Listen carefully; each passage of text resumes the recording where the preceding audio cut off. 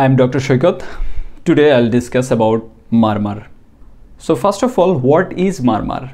Murmur is an abnormal sound due to turbulent blood flow through an abnormal valve, septal defect, outflow obstruction or due to increased volume or velocity of the blood flow through a normal valve. So I'm making it clear. This is a schematic diagram of the heart. There is mitral valve, tricuspid valve, aortic valve, pulmonary valve. So murmur means either there will be pathology in the valve there is abnormal valve or maybe abnormal velocity or abnormal volume of the blood. If abnormal blood passes through this normal valve then there is a turbulence that is called murmur. In the same way if normal blood passes through this normal amount of blood passes through this abnormal valve then there is turbulence. That is also murmur. So now what are the types of murmur Basically, there are two types of murmur, systolic murmur and diastolic murmur. This systolic murmur again can be classified into ejection systolic murmur and pansystolic murmur. And this diastolic murmur again classified into early diastolic murmur, mid diastolic murmur. Now, I am explaining all these murmurs.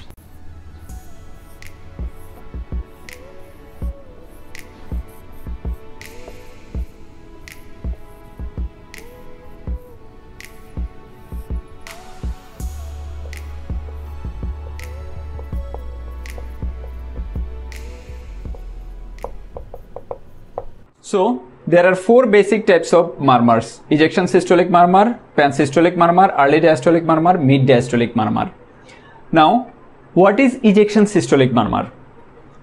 Ejection systolic murmur means turbulence in the middle of the systole and in those valves through which ejection occurs. In the middle of the systole, there is murmur. This is ejection systolic murmur.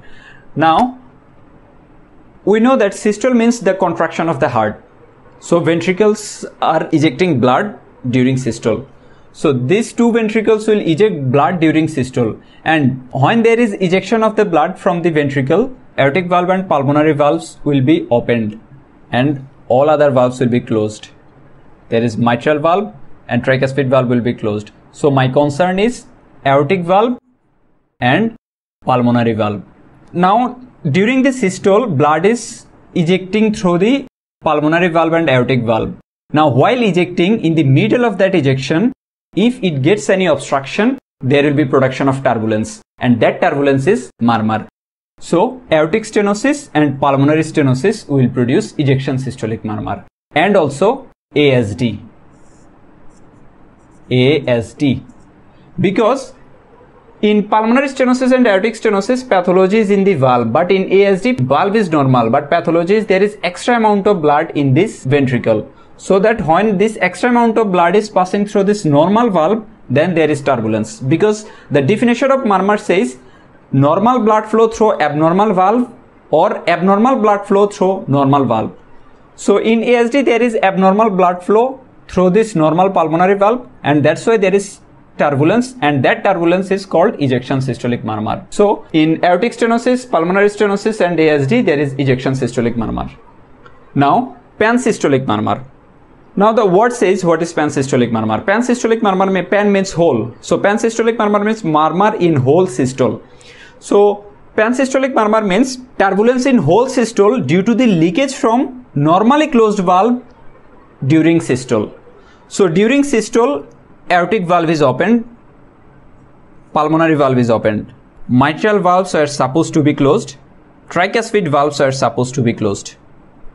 So now I told that turbulence in whole of the systole due to the leakage from normally closed valve during systole. So aortic valve and pulmonary valve I'll not consider. Now these two valves are supposed to be closed during systole. But if there is leakage during systole if there is leakage then we will get murmur in whole of the systole. That is called pansystolic murmur that's why in mitral regurgitation and tricuspid regurgitation i will get pansystolic murmur in whole of the systole i will get this murmur this is pansystolic murmur and also in vsd in vsd also because i told that During systole, aortic valve and pulmonary valve should be opened. All other things should be closed. So mitral valve, tricuspid valve was supposed to be closed, ventricular septum was supposed to be intact. But now in VSD there is a defect in the ventricular septum. So through this defect there is turbulence. Due to that turbulence there is abnormal sound that is murmur in the whole of the systole that is called pansystolic murmur. So in mitral regurgitation, tricuspid regurgitation and VSD, MR, VSD there is pansystolic murmur. Now in early diastolic murmur, early diastolic murmur means murmur in early diastole due to the leakage from normally closed valves during diastole. So we know that what is diastole? Diastole means relaxation of the heart. Simply in diastole the ventricles are filled. So in the diastole mitral valve and tricuspid valves are open through which ventricles are getting filled and aortic valve and pulmonary valve were supposed to be closed but now they are leaking. So that due to that leaking there is turbulence in early diastole. That is called early diastolic murmur. So this is aortic valve and this is pulmonary valve. If there is regurgitation, aortic regurgitation and pulmonary regurgitation, I will get early diastolic murmur. After S2 and before S1, I will get that murmur. So this is called early diastolic murmur like this. The intensity of the murmur is more in early diastole. Now mid diastolic murmur. Again, mid diastolic murmur is turbulence in mid diastole through stenosed valves this is mitral valve, this is tricuspid valve. Through this mitral valve and tricuspid valve, ventricles are filled.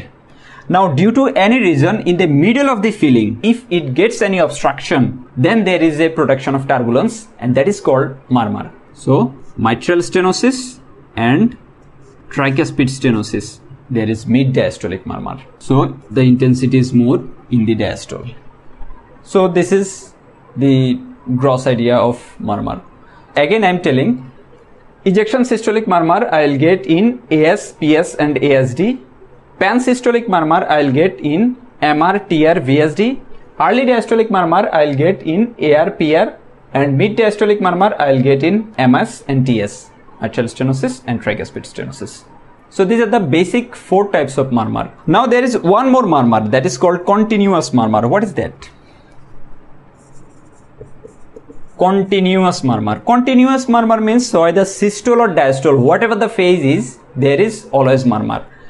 That is a PDA, patent ductus arteriosus. Patent ductus arteriosus means if there is any communication between the pulmonary artery and aorta, then in the whole systole, diastole, everywhere there will be murmur. That is called continuous murmur. In that time, there will be murmur in whole systole and diastole. So these are some gross ideas of murmurs. Hope you like this video.